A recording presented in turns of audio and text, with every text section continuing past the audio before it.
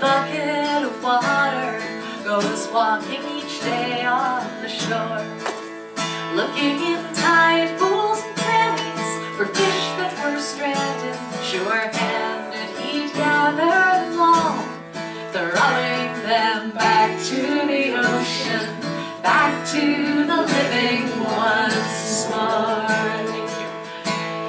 Throwing them back to the ocean, back to living once more.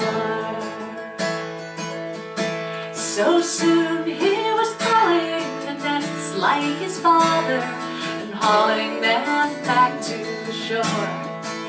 But taking the time to be careful and sort the unneeded from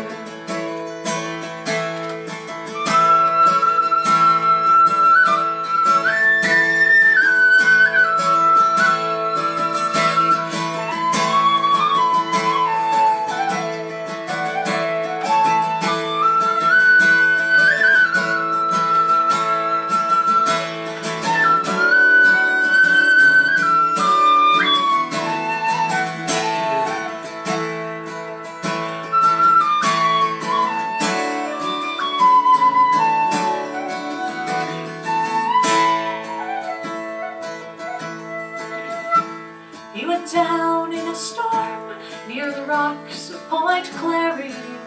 They searched till the night drove him home. But in the morning, they found him alive and unlettered, where shattered wood littered the stone. He'd been thrown back